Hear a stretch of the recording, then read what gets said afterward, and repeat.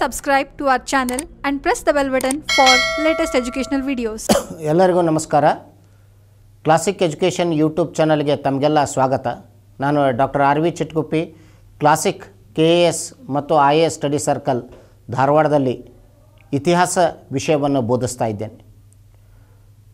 ವಿದ್ಯಾರ್ಥಿಗಳೇ, ಇಲ್ಲಿ ಪರೀಕ್ಷೆಗೆ ಬೇರೆ ಬೇರೆ ಪರೀಕ್ಷೆಗಳಿಗೆ ತಾವೆಲ್ಲ ತಯಾರಿ ಮಾಡ್ತಾ ಇದ್ದೀರಿ. ಅದರಲ್ಲೂ ವಿಶೇಷವಾಗಿ ನಮ್ಮ ಕರ್ನಾಟಕ ರಾಜ್ಯ ಸರ್ಕಾರ ನಡೆಸುವಂಥ ಪರೀಕ್ಷೆಗಳಿಗೆ, ಕರ್ನಾಟಕದ ಇತಿಹಾಸದ ಬಗ್ಗೆ ಸಾಕಷ್ಟು ಪ್ರಶ್ನೆಗಳಿರ್ತವೆ. ಅದು ಎಫ್ ಡಿ ಆಗಿರ್ಬೋದು, ಎಸ್ ಡಿ ಆಗಿರ್ಬೋದು, ಪಿ ಸಿ ಆಗಿರ್ಬೋದು, ಪಿ ಎಸ್ ಐ ಆಗಿರ್ಬೋದು, ಅಥವಾ ಕೆ ಪಿ ಎಸ್ ಸಿ ಇಲ್ಲೇ ಪರೀಕ್ಷೆಗಳು ಕೂಡ ಆಗಿರ್ಬೋದು. ಅದು ಕ್ಯಾಟಗರಿ ಇಲ್ಲಿ ಎ ಮತ್ತು ಬಿ ಅಧಿಕಾರಿಗಳಿಗೆ ನಡೆಯುವಂಥ ಪರೀಕ್ಷೆ ಆಗಿರ್ಬೋದು, ಕೆ ಎಸ್. ಹೀಗೆ ನಮ್ಮ ಕರ್ನಾಟಕದ ಮಟ್ಟಿಗೆ ನಾವು ನೋಡಿದರೆ ಕರ್ನಾಟಕದ ಚರಿತ್ರೆ ಬಹಳ ಮುಖ್ಯವಾಗಿದೆ.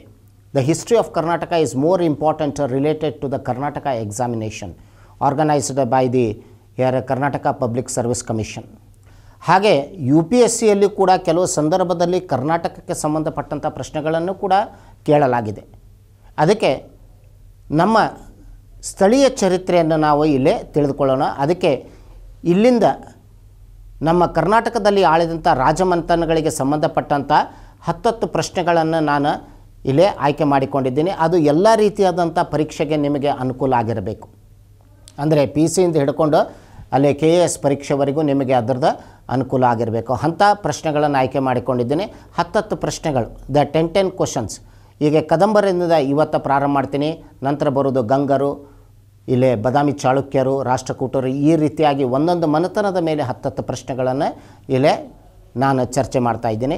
ಇವತ್ತಿನ ಕ್ಲಾಸ್ನಲ್ಲಿ ನಮ್ಮ ಕರ್ನಾಟಕದ ಪ್ರಥಮ ರಾಜಮಂತನವಾದಂಥ ಕದಂಬರಿಗೆ ಸಂಬಂಧಪಟ್ಟಂಥ ಕೆಲವು ಹತ್ತು ಪ್ರಶ್ನೆಗಳನ್ನು ತಿಳಿದುಕೊಳ್ಳೋಣ.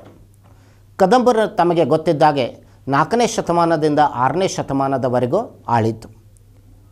ಸುಮಾರು ಮೂರುನೂರ ನಲವತ್ತೈದು ಕ್ರಿಸ್ತ ಶಕದಿಂದ ಹಿಡಿದುಕೊಂಡು ಐದು ನೂರ ನಲವತ್ತು ಕ್ರಿಸ್ತ ಶಕ. ಸುಮಾರು ಎರಡು ನೂರು ವರ್ಷ ಕಾಲ ಕದಂಬರು ಇಲ್ಲಿ ಆಳಿದ್ದು. ಉತ್ತರ ಕರ್ನಾಟಕ ಪ್ರದೇಶದಲ್ಲಿ mainly it is in northern part of Karnataka. ಕದಂಬರ ಆಳಿಕೆ. ಇಲ್ಲಿದ ನಮ್ಮ ಕರ್ನಾಟಕದ ರಾಜಮನೆತನದ ಚರಿತ್ರೆ ಪ್ರಾರಂಭ ಆಗ್ತದೆ. It is the beginning of the royal dynasties of Karnataka. The first one is Kadambas. ಮತ್ತು ಅವರ ರಾಜಧಾನಿ ವನವಾಸಿಯಾಗಿತ್ತು ಅಥವಾ ಈಗ ಅದನ್ನು ಬನವಾಸಿ ಅಂಥೇಳಿ ಕೂಡ ಕರೆಯಲಾಗಿದೆ. ಉತ್ತರ ಕನ್ನಡ ಜಿಲ್ಲೆಯಲ್ಲಿ ಬರುವಂಥ ಪ್ರದೇಶವಾಗಿದೆ. So it comes in northern Karnataka Banavasi or called as Vanavasi was the capital ಹೀಗೆ ಈ ಮಂಥನಕ್ಕೆ ಸಂಬಂಧಪಟ್ಟದ್ದು. ಇಲ್ಲೇ ಕೆಲವು ಹತ್ತು ಪ್ರಶ್ನೆಗಳನ್ನು ನಾವು ತಿಳಿದುಕೊಳ್ಳೋಣ. ಒಂದು ವಿಷಯ ನೆನ್ಪಿಟ್ಕೊಳ್ಳಿ ವಿದ್ಯಾರ್ಥಿಗಳೇ, ಕದಂಬರು ಮೂಲತಃ ಬನವಾಸಿಯನ್ನು ಆಳಿದರೂ ಕೂಡ ಮತ್ತೆ ಮುಂದೆ ಅದರ ಶಾಖ್ಯಗಳು ಅಲ್ಲಿ ಬೇರೆ ಬೇರೆ ಸ್ಥಳದಲ್ಲಿ ಅವರು ಆಳಿಕೆಯನ್ನು ನಡೆಸಿದ್ದು. ಉದಾಹರಣೆಗೆ ಹಾನಗಲದ ಕದಂಬರು ಅಂತ ಹೇಳಿ ಬರ್ತದೆ, ಗೋವಾದ ಕದಂಬರು ಅಂತ ಹೇಳಿ ಬರ್ತದೆ, ಉಚ್ಚಂಗಿ ಕದಂಬರು ಅಂತ ಹೇಳಿ ಬರ್ತಾರೆ. ಇವೆಲ್ಲ ಶಾಖೆಗಳಾಗಿದ್ದವು. These were all the branches ಮೂಲ ಕದಂಬ ಮಂಥನ ಏನಂದರೆ ಅದು ಬನವಾಸಿಯ ಕದಂಬರಾಗಿದ್ದರು. ಅದಕ್ಕೆ ಇಲ್ಲಿ ಬರುವಂಥ ಕೆಲವು ಪ್ರಶ್ನೆಗಳನ್ನು ತಿಳ್ಕೊಳ್ಳೋಣ. ಪರೀಕ್ಷೆ ದೃಷ್ಟಿಯಿಂದ ಯಾವ ಮುಖ್ಯವಾಗಿವೆ? ಮೊದಲನೇ ಪ್ರಶ್ನೆ ನಾವು ನೋಡಿದರೆ, Talagunda inscription is engraved at the temple of Talagunda ಶಾಸನ ಕೆಳಕಂಡ ಯಾವ ದೇವಾಲಯಗಳಲ್ಲಿ ಅದನ್ನು ಕೆತ್ತಲಾಗಿದೆ? ಮೊದಲಿಗೆ ವಿಷಯ ಇಲ್ಲೇ ಹೇಗೆ ತಿಳ್ಕೊಬೇಕಂದ್ರೆ ತಾಳಗುಂದ, ಇದು ಒಂದು ಸ್ಥಳದ ಹೆಸರಾಗಿದೆ. ಶಿವಮೊಗ್ಗ ಜಿಲ್ಲೆಯಲ್ಲಿ ಬರ್ತದೆ. It comes in Shivamogga district Talagunda. ತಾಳಗುಂದದಲ್ಲಿ ಕದಂಬರ ಕಾಲದ ಒಂದು ನಮಗೆ ಸಿಗುವಂಥ ಒಂದು ದೇವಸ್ಥಾನ, ಪ್ರಣವೇಶ್ವರ ಟೆಂಪಲ್ ಪ್ರಣವೇಶ್ವರ ದೇವಾಲಯ. ಪ್ರಣವೇಶ್ವರ ದೇವಾಲಯದ ಸ್ತಂಭದ ಮೇಲೆ. So the pillar at the Pranaveshwara temple. ಆ ದೇವಾಲಯದ ಆವರಣದಲ್ಲಿ ಏನು ಸ್ತಂಭ ಇದೆ? ಆ ಸ್ತಂಭದ ಮೇಲೆ ಈ ಒಂದು ಶಾಸನವನ್ನು ನೋಡ್ತೀವಿ. ಅದೇ ತಾಳಗುಂದ ಶಾಸನ ಅಂಥೇಳಿ ಕರೆಯಲಾಗಿದೆ. That is a Talagunda inscription ಅದಕ್ಕೆ ಉತ್ತರ ಪ್ರಣವೇಶ್ವರ ದೇವಾಲಯ ಆಗಿದೆ. ಪ್ರಣವೇಶ್ವರ ಟೆಂಪಲ್ ಶಿವ ದೇವಾಲಯ ಆಗಿದೆ. ಅಲ್ಲಿ ಬರುವಂಥ ತಾಳಗುಂದ ಶಾಸನ. ತಾಳಗುಂದ ಶಾಸನದ ಮಹತ್ವ ಏನಿದೆ? ಈ ಶಾಸನದ ಕರ್ತೃ ಕುಬ್ಜನಾಗಿದ್ದನು. The mainly person who composed this was here a scholar by name Kubja ಕುಬ್ಜನು ಅದನ್ನು ಇಲ್ಲೇ ಕರ್ತೃ ಆಗಿದ್ದನು ಇದರಲ್ಲಿ ಬಳಸಲಾದಂಥ ಭಾಷೆ ಏನಿದೆ ಸಂಸ್ಕೃತ ಆಗಿದೆ the language used is Sanskrit ಕಾಲ ಸುಮಾರು ಇಲ್ಲೇ ಐದನೇ ಶತಮಾನ ಕ್ರಿಸ್ತ ಶಕವಾಗಿದೆ ಫಿಫ್ತ್ ಸೆಂಚುರಿ ಎ ಡಿ ಈ ಶಾಸನ ಎದಕ್ಕೆ ಮುಖ್ಯವಾಗಿದೆ ಅಂದರೆ ಕದಂಬ ಮನೆತನದ ಸ್ಥಾಪನೆ ಬಗ್ಗೆ ನಮಗೆ ತಿಳಿಸಿಕೊಡ್ತದೆ. It shows the establishment of the Kadamba dynasty ಹೇಗೆ ಮಯೂರ ಶರ್ಮನು ಮಯೂರವರ್ಮನ ಆಗಿದ್ದನು ಅಂಥೇಳಿ ತಿಳ್ಕೊಳ್ಳಲು ನಮಗೆ ಕದಂಬ ಶಾಸನ ಸಹಾಯಕವಾಗಿದೆ. How this Kadamba dynasty was established ಮತ್ತು ತಾಳಗುಂದ ಒಂದು ಅಗ್ರಹಾರವಾಗಿತ್ತು. Talagunda was an agrahara. It was a vedic education here organisation Agrahara ಅಂದರೆ ವೈದಿಕ ಶೈಕ್ಷಣಿಕ ಕೇಂದ್ರವಾಗಿತ್ತು. It was a vedic education centre. ಅದಕ್ಕೆ ಈ ತಾಳಗುಂದ ಶಾಸನ ಪ್ರಣವೇಶ್ವರ ದೇವಾಲಯದ ಸ್ತಂಭದ ಮೇಲೆ ನೋಡ್ತೀವಿ. It is in the pillar of the Pranaveshwara temple ಅದಕ್ಕೆ ಉತ್ತರ ಪ್ರಣವೇಶ್ವರ ದೇವಾಲಯ ಆಗಿದೆ. ಎರಡನೇದಾಗಿ ನೋಡಿದರೆ the Kadamba king who developed marriage alliances with the Guptas ಉತ್ತರ ಭಾರತದಲ್ಲಿ ಆಳಿದ ಗುಪ್ತರ ಕಾಲದಲ್ಲಿ, ಅಲ್ಲೇ ಗುಪ್ತರ ಕೂಡ ಮದುವೆ ಸಂಬಂಧಗಳನ್ನು ಬೆಳೆಸಿಕೊಂಡಂಥ ಕದಂಬ ಅರಸ ಯಾರು? ಅಲ್ಲಿ ಕಾಕುಸ್ಥವರ್ಮ ಮೃಗೇಶವರ್ಮ ರವಿವರ್ಮ ಭಗೀರಥವರ್ಮ ಕೊಟ್ಟಿದ್ದಾರೆ. ಇದಕ್ಕೆ ಉತ್ತರ ಕಾಕುಸ್ಥವರ್ಮ ಆಗಿದೆ. Kakusthavarma had matrimonial alliances with the Guptas of the north ಅದರಲ್ಲೂ ವಿಶೇಷವಾಗಿ ನಾವು ನೋಡ್ತೀವಿ ಎರಡನೇ ಚಂದ್ರಗುಪ್ತನ ಕೂಡ. ಎರಡನೇ ಚಂದ್ರಗುಪ್ತನ ಕೂಡ ಈ ಒಂದು ಮದುವೆ ಸಂಬಂಧಗಳನ್ನು ಅಲ್ಲಿ ಬೆಳೆಸಿಕೊಳ್ಳಲಾಯಿತು. It was under here Chandragupta the second here during the period of the Chandragupta the second matrimonial alliances were established between Kadambas and the Guptas. ಅದಕ್ಕೆ ಕದಂಬರ ಸಂಸ್ಕೃತಿಯ ಮೇಲೆ ಗುಪ್ತರ ಪ್ರಭಾವ ಬಹಳ ಇದೆ there is a lot of influence of the Gupta culture on the culture of the Kadambas ಅದಕ್ಕೆ ಇಲ್ಲಿ ನಾವು ನೋಡ್ತೀವಿ ಕದಂಬರ ವಾಸ್ತುಶಿಲ್ಪ ಏನು ಬೆಳೆಯಿತು? ಅದನ್ನು ಕದಂಬ ನಾಗರ ವಾಸ್ತುಶಿಲ್ಪ ಅಂತ ಹೇಳ್ತೀವಿ. ನಾಗರ ವಾಸ್ತುಶಿಲ್ಪ ಇದು ಗುಪ್ತರ ವಾಸ್ತುಶಿಲ್ಪ. ಅಲ್ಲಿ ಬರುವಂಥ ಹಿಂದೂ ವಾಸ್ತುಶಿಲ್ಪ ಉತ್ತರದಲ್ಲಿ. ಅದಕ್ಕೆ ಕದಂಬ ನಾಗರ ವಾಸ್ತುಶಿಲ್ಪ ಅಂತ ಹೇಳ್ತೀವಿ.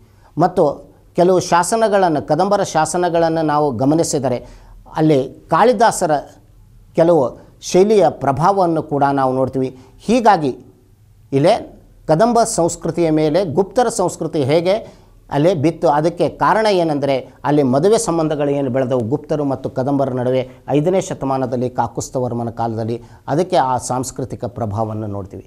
ಸೊ ಆನ್ಸರ್ ಈಸ್ ಕಾಕುಸ್ತವರ್ಮ ಅಲ್ಲಿ.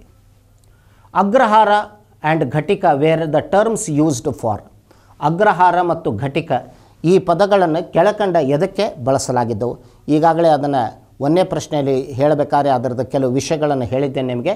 ಅಲ್ಲಿ ಆಯ್ಕೆಗಳನ್ನು ಕೊಟ್ಟದ್ದು ತೆರಿಗೆಗಳಾಗಿದ್ದವು.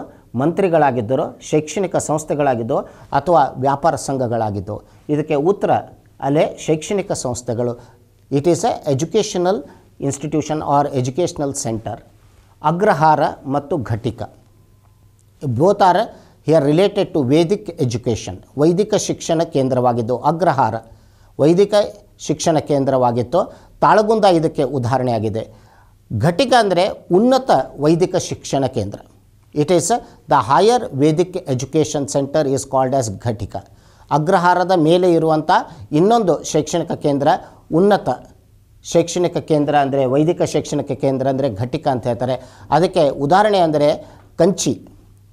ಅದು ತಮಿಳುನಾಡಲ್ಲಿ ಬರುವಂಥ ಕಂಚಿ ಏನಿದೆ, ಅದು ಘಟಿಕ ಸ್ಥಾನದಲ್ಲಿ ಇತ್ತು. ಮಯೂರ ಶರ್ಮನು ಅಲ್ಲಿ ವಿದ್ಯಾಭ್ಯಾಸಕ್ಕೆ ಹೋಗಿದ್ದು. ಅಲ್ಲಿ ನಡೆದಂಥ ಘಟನೆಯಿಂದಾಗಿ ನಾವು ಮುಂದೆ ನೋಡ್ತೀವಿ. ತನ್ನ ವಿದ್ಯಾಭ್ಯಾಸವನ್ನು ನಿಲ್ಲಿಸಿ ಸೈನ್ಯವನ್ನು ಸಂಘಟನೆ ಮಾಡಿ ಪಲ್ಲವರ ಕೂಡ ಹೋರಾಡಿ ಕದಂಬ ಮಂಥನವನ್ನು ಸ್ಥಾಪನೆ ಮಾಡಿದ್ದು. ಘಟಿಕ ಅದು ಕಂಚಿ ಅಥವಾ ಕಾಂಚೀಪುರ, ಅದು ಘಟಿಕ ಸ್ಥಾನದಲ್ಲಿತ್ತು. ಅದಕ್ಕೆ ಹೆಚ್ಚಿನ ವಿದ್ಯಾಭ್ಯಾಸಕ್ಕಾಗಿ ಮಯೂರ ಶರ್ಮನ ಅಲ್ಲಿ ಹೋಗಿದ್ದನು. ಮುಂದೆ ಅಲ್ಲಿ ನಡೆದಂಥ ಘಟನೆ ತಾಳ್ಗುಂದ ಶಾಸನದಲ್ಲಿ ಬರುವಂಥ ಉಲ್ಲೇಖನೆ ಇದೆ. ನಂತರ ಅವನನ್ನು ಅಲ್ಲಿ ಪಲ್ಲವ ಅರಸನಾದ ಶಿವಸ್ಕಂದವರ್ಮನನ್ನು ಸೋಲಿಸಿ ಕದಂಬ ಮಂಥನ ಸ್ಥಾಪನೆ ಮಾಡಿ ಮಯೂರ ವರ್ಮ ಅಂಥೇಳಿ ಹೆಸರು ಪಡೆದುಕೊಂಡದ್ದು. ಅದಕ್ಕೆ ಆ ಘಟಿಕ ಸ್ಥಾನ. That is the ghatika is the higher vedic education centre so this terms are used for educational institutions ಶೈಕ್ಷಣಿಕ ಸಂಸ್ಥೆಗಳಿಗೆ. The Kadamba royal emblem was ನಮ್ಮ ಕರ್ನಾಟಕದ ಪ್ರತಿಯೊಂದು ಮನೆತನದ ಒಂದೊಂದು ಲಾಂಛನ ಇದೆ. So we have got an emblem for each here each dynasty ಪ್ರತಿಯೊಂದು. ಇದನ್ನು ನಾವು ಸಾಮಾನ್ಯವಾಗಿ ಎಲ್ಲೇ ನೋಡ್ಬೋದು? ಶಾಸನದ ಒಂದು ಭಾಗದಲ್ಲಿ ಕಾಣಬಹುದು ಅಥವಾ ನಾಣ್ಯಗಳ ಮೇಲೆ ನೋಡಬಹುದು. We can notice it on the here the coins or in the inscriptions we can see or in the monuments ಕೆಲವೊಂದು ಸ್ಮಾರಕಗಳಲ್ಲಿ ಕೂಡ ನಾವು ಈ ಲಾಂಛನವನ್ನು ಗಮನಿಸಬಹುದು. ಇಲ್ಲಿ ನೋಡಿದರೆ ಕೊಟ್ಟದ್ದು ಗಜ, ಸಿಂಹ, ವರಹ, ಎತ್ತು. ಇವು ಮುಖ್ಯವಾಗಿ ಕೊಟ್ಟಂಥ ಇದರಾಗ ಕದಂಬರ ಲಾಂಛನ ಯಾವುದಾಗಿತ್ತು? ಅದಕ್ಕೆ ಉತ್ತರ ನಾವು ನೋಡ್ತೀವಿ, ಸಿಂಹವಾಗಿದೆ.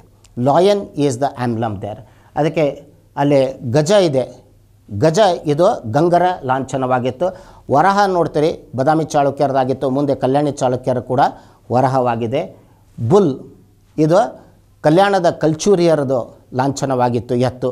ಹೀಗೆ ಸಿಂಹ ಏನಿದೆ, ಇದು ಕದಂಬರ ಲಾಂಛನವಾಗಿತ್ತು. Kadamba had the lion as the emblem and it was a mark of the courage ಸಿಂಹ ಯಾವಾಗಲೂ ಒಂದು ಧೈರ್ಯದ ಸಂಕೇತವಾಗಿದೆ. ಅದಕ್ಕೆ ಶಕ್ತಿಯ ಸಂಕೇತವಾಗಿದೆ. That shows they were the powerful that ಅದಕ್ಕೆ ಅದು ಲಾಂಛನವಾಗಿಟ್ಟುಕೊಂಡಿದ್ದರು. Lion. Kakusthavarma had developed the marriage alliance with Vakataka king. ಕೆಳಕಂಡ ಯಾವ ವಾಕಾಟಿಕ ಅರಸನ ಕೂಡ ಅಲ್ಲಿ ಕಾಕುಸ್ತವರ್ಮನು ಮದುವೆ ಸಂಬಂಧವನ್ನು ಬೆಳೆಸ್ಕೊಂಡಿದ್ದನು. So Kakusthavarma had given his daughter in marriage to the Vakataka king so who was the Vakataka king ತನ್ನ ಮಗಳನ್ನು ಮದುವೆ ಮಾಡಿಕೊಟ್ಟಿದ್ದ ಕಾಕುಸ್ತವರ್ಮ ಆ ವಾಕಾಟಿಕ ಅರಸ ಯಾರು? ವಾಕಾಟಿಕರು ಮಹಾರಾಷ್ಟ್ರದ ಕೆಲವು ಭಾಗಗಳು ಆಂಧ್ರದ ಕೆಲವು ಭಾಗಗಳಲ್ಲಿ ವಾಕಾಟಿಕರು ಆಳ್ತಾ ಇದ್ದರು. Kakusthavarma this is one of the foreign policy which Kadambas had adopted mainly here following the footsteps of the Guptas ಗುಪ್ತರ ಮಾದರಿಯಲ್ಲೇ ಇಲ್ಲೇ ಕದಂಬ ಅರಸನಾದ ಕಾಕುಸ್ತವರ್ಮನ ಕೂಡ ತನ್ನ ಅಧಿಕಾರವನ್ನು ಭದ್ರಗೊಳಿಸಿಕೊಳ್ಳಲು ಈ ಮದುವೆ ಸಂಬಂಧವನ್ನು ಬೆಳೆಸಿಕೊಂಡಿದ್ದನ್ನು ತನ್ನ ವಿದೇಶಾಂಗ ನೀತಿಯಲ್ಲಿ. ಅಲ್ಲಿ ಕೂಡ ನಾವು ನೋಡ್ತೀವಿ ಒಂದೇ ಚಂದ್ರಗುಪ್ತ ಮತ್ತು ಎರಡನೇ ಚಂದ್ರಗುಪ್ತ ಮದುವೆ ಸಂಬಂಧದ ಮೂಲಕ ತಮ್ಮ ಅಧಿಕಾರವನ್ನು ಭದ್ರಗೊಳಿಸಿಕೊಂಡಿದ್ದರು ಗುಪ್ತರ ಕಾಲದಲ್ಲಿ. ಹಾಗೆ ಇಲ್ಲಿ ಕೂಡ ನಾವು ನೋಡ್ತೀವಿ ಕಾಕುಸ್ತವರ್ಮ ಅದೇ ನೀತಿಯನ್ನು ಅಳವಡಿಸಿಕೊಂಡನು ವಿದೇಶಾಂಗ ನೀತಿಯಲ್ಲಿ. ಆ ಮದುವೆ ಸಂಬಂಧದ ಮೂಲಕ ಬಲಿಷ್ಠ ಮನೆತನದ ಕೂಡ ಇಲ್ಲೇ ಮದುವೆ ಸಂಬಂಧವನ್ನು ಬೆಳೆಸ್ಕೊಂಡಿದ್ದು, ಗುಪ್ತರ ಕೂಡ ಬೆಳೆಸಿಕೊಂಡಿದ್ದು, ಹಾಗೆ ವಾಕಾಟಿಕರ ಕೂಡ ಕೂಡ ಇಲ್ಲಿ ಅವನು ಬೆಳೆಸ್ಕೊಂಡಂಥ ಮದುವೆ ಸಂಬಂಧ. ಹಾಗಾದರೆ ಅಲ್ಲಿ ಬರುವಂಥ ಅರಸ ಯಾರಾಗಿದ್ದರು ಅಂದರೆ ಪೃಥ್ವಿಸೇನನಾಗಿದ್ದನು. Prithvisena was the king with whom they had the relation Kakusthavarma Prithvisena Vakataka ಅರಸನ ಕೂಡ ಈ ಒಂದು ಮದುವೆ ಸಂಬಂಧವನ್ನು ಬೆಳೆಸಿಕೊಂಡದ್ದು. ಇದು ಅಲ್ಲಿ ಬರುವಂಥ ವಿಷಯವಾಗಿದೆ. This is what you have to remember how the marriage alliances matrimonial alliances we are responsible for the consolidation of the power ಮದುವೆ ಸಂಬಂಧದ ಮೂಲಕ ಯುದ್ಧವನ್ನು ಆಡದೆ ಮದುವೆ ಸಂಬಂಧದ ಮೂಲಕ ಅಧಿಕಾರವನ್ನು ಭದ್ರಗೊಳಿಸಿಕೊಳ್ಳುವುದು. ಇದು ವಿದೇಶಾಂಗ ನೀತಿಯಲ್ಲಿ ನಮ್ಮ ಪ್ರಾಚೀನ ಭಾರತದಲ್ಲಿ ಅರಸರು, ಮನೆತನದ ಅರಸರು ಅಳವಡಿಸಿಕೊಂಡಂಥ ನೀತಿ ಆಗಿದೆ. ಅದು ಇಲ್ಲಿಗೆ ಕದಂಬರದು ಕೂಡ ಒಂದು ಉದಾಹರಣೆಯಾಗಿ ಬರ್ತದೆ. The Kadamba king called as the ornament of Kadamba family Kadamba ಕುಲದ ಆಭರಣ ಅಂಥೇಳಿ ಯಾವ ಅರಸನನ್ನು ಕರೆದಿದ್ದಾರೆ? ಮಯೂರವರ್ಮನೋ, ಮೃಗೇಶವರ್ಮನೋ, ಶಾಂತಿವರ್ಮನೋ, ಕಾಕುಸ್ತವರ್ಮನೋ. ಯಾರನ್ನು ಇಲ್ಲೇ ಕರ ಈ ಒಂದು ಕದಂಬರ ಆಭರಣ ಅಂಥೇಳಿ ಕರೆದಿದ್ದಾರೆ? ಅದಕ್ಕೆ ಉತ್ತರ ಮತ್ತೆ ಕಾಕುಸ್ತವರ್ಮ ಆಗಿದೆ. ಕಾಕುಸ್ತವರ್ಮ, ಮಯೂರವರ್ಮನ ನಂತರ ಕದಂಬ ಮಂಥನದಲ್ಲಿ ಬರುವಂಥ ಪ್ರಮುಖ ಅರಸನೆಂದರೆ ಕಾಕುಸ್ತವರ್ಮ. ಐದನೇ ಶತಮಾನದಲ್ಲಿ ಆಳಿದ್ದು. Who has been described as the ornament of the Kadamba family Kadamba ಕುಲದ ಆಭರಣ ಅಂಥೇಳಿ ಕಾಕುಸ್ತವರ್ಮನನ್ನು ಅಲ್ಲಿ ಕರೆಯಲಾಗಿದೆ. The second capital of Kadambas ಕದಂಬರ ಮೊದಲನೇ ರಾಜಧಾನಿ ಬನವಾಸಿಯಾಗಿದೆ. ಬನವಾಸಿ ಉತ್ತರ ಕನ್ನಡದಲ್ಲಿ ಜಿಲ್ಲೆಯಲ್ಲಿ ಏನು ಬರ್ತದೆ? ಬನವಾಸಿ ಅಥವಾ ವನವಾಸಿ, ಅದು ಅವರ ರಾಜಧಾನಿಯಾಗಿದೆ. ವರ್ಧಾ ನದಿ ದಂಡೆ ಮೇಲೆ ಇದೆ. It is on the banks of river Varada, Banavasi. ಅದು ಅವರ ಪ್ರಧಾನ ರಾಜಧಾನಿಯಾಗಿತ್ತು ಅಥವಾ ಮೊದಲನೇ ರಾಜಧಾನಿಯಾಗಿತ್ತು. ಆದರೆ ಇಲ್ಲಿ ಕೇಳಿದ್ದ ಪ್ರಶ್ನೆ ಎರಡನೇ ರಾಜಧಾನಿ ಯಾವುದಾಗಿತ್ತು? Which was the second capital of the Kadambas ಅದಕ್ಕೆ ಉತ್ತರ, ಇಲ್ಲೇ ನಾಲ್ಕು ಸ್ಥಳಗಳನ್ನು ಕೊಟ್ಟಿದ್ದಾರೆ. ಹಲಸಿ, ತಾಳಗುಂದ ಗುದ್ನಾಪುರ್ ಚಂದ್ರವಳ್ಳಿ. ಉತ್ತರ ಹಲಸಿ ಆಗಿದೆ Halasi comes in Belgaum district Belgaum ಜಿಲ್ಲೆಯಲ್ಲಿ ಬರುವಂಥ ಹಲಸಿ ಅವರ ಎರಡನೇ ರಾಜಧಾನಿಯಾಗಿತ್ತು. ಅಷ್ಟೇ ಅಲ್ಲ, ಹಲಸಿ ಇದು ಒಂದು ಪ್ರಧಾನ ಜೈನ ಕೇಂದ್ರ ಕೂಡ ಆಗಿತ್ತು ಕದಂಬರ ಕಾಲದಲ್ಲಿ. It was a Jaina centre and also the second capital of the Kadambas Halasi in Belgaum district Belagavi ಜಿಲ್ಲೆಯಲ್ಲಿ ಬರುವಂಥ ಸ್ಥಳವಾಗಿದೆ ಅದು. The branch of Kadambas was later established at ಇಲ್ಲೇ ಬನವಾಸಿ ಕದಂಬರ ನಂತರ ಕೆಳಕಂಡ ಯಾವ ಸ್ಥಳದಲ್ಲಿ ಕದಂಬರ ಒಂದು ಶಾಖೆ ಸ್ಥಾಪಿಸಲಾಯಿತು. ತಾಳಗುಂಡ, ಹಾನಗಲ್, ಚಂದ್ರವಳ್ಳಿ, ಬೀರೂರು. ಯಾವ ಸ್ಥಳದಲ್ಲಿ ನಾವು ನೋಡ್ತೀವಿ? ಕದಂಬರ ಒಂದು ಶಾಖೆ ಸ್ಥಾಪನೆ ಆಯಿತು which was a mainly the branch of Kadambas where it was established after Banavasi Kadambas at which place we have a branch of Kadambas ruling ಅದಕ್ಕೆ ಉತ್ತರ ಹಾನಗಲ್ ಆಗಿದೆ. Hangal the ಕದಂಬರ್. So we have the place called Hangal. Here that place is known for the rule of the Kadambas of Hangal ಅವರ ಹಾನಗಲ್ಲದ ಕದಂಬರು ಅಂಥೇಳಿ ಅವರನ್ನು ಕರೆಯಲಾಗಿದೆ. ಅದಕ್ಕೆ ಅವರ ಇದು ಮೂಲ ಬನವಾಸಿ ಕದಂಬರದ ಒಂದು ಶಾಖ್ಯವಾಗಿದೆ it is a branch of the original the Kadambas of Banavasi ಹಾನಗಲ್ಲದ ಕದಂಬರು the Kamalanarayana temple at Devgaon in Belgaum district belongs to Kadambas of ಇಲ್ಲಿ ಸ್ಥಳಗಳು ಏನವ ನಾವು ನೋಡ್ತೀವಿ.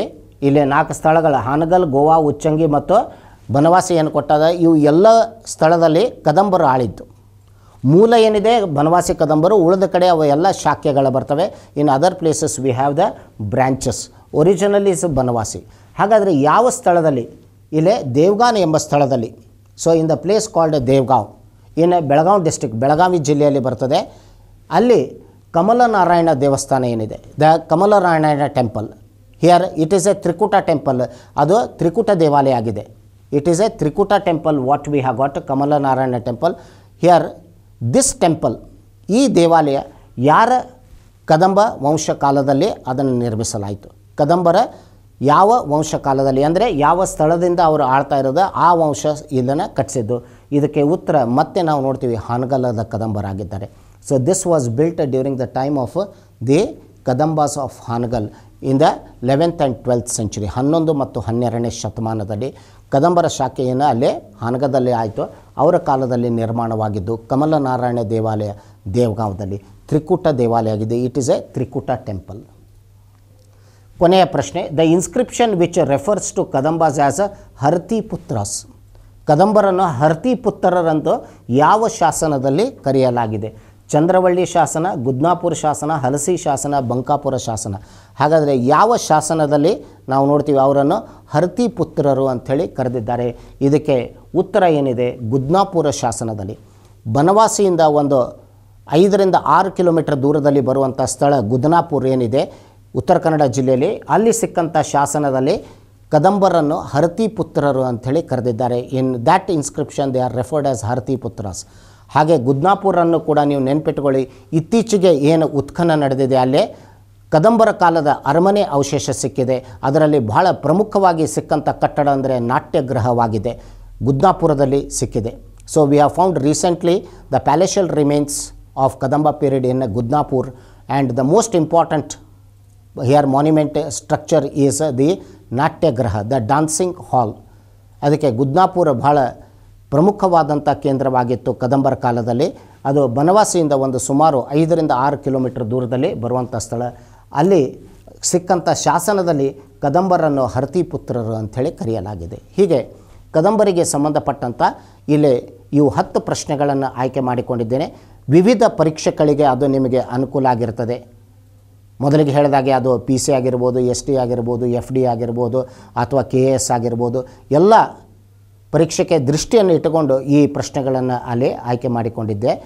ಇದೇ ರೀತಿಯಾಗಿ ಮುಂದಿನ ವಿಡಿಯೋದಲ್ಲಿ ಗಂಗರಿಗೆ ಸಂಬಂಧಪಟ್ಟಂಥ ಕೆಲವು ಪ್ರಶ್ನೆಗಳನ್ನು ಅಲ್ಲಿ ಚರ್ಚಿಸಿಕೊಳ್ಳೋಣ. ಅಲ್ಲಿವರೆಗೂ ನೀವು ಕ್ಲಾಸಿಕ್ ಯೂಟ್ಯೂಬ್ ಚಾನಲನ್ನು ನೋಡ್ತಾ ಇರಿ. ಇದಕ್ಕಿನ್ನೂ ನೀವು ಸಬ್ಸ್ಕ್ರೈಬ್ ಆಗಿದ್ದಿಲ್ಲ ಅಂದರೆ ಕೂಡಲೇ ಸಬ್ಸ್ಕ್ರೈಬ್ ಆಗಿ. ಮತ್ತೆ ನಾನು ನಿಮ್ಮನ್ನು ಕಾಣ್ತೀನಿ. ಎಲ್ಲರಿಗೂ ನಮಸ್ಕಾರ. Please subscribe to our channel and press the bell button for latest educational videos.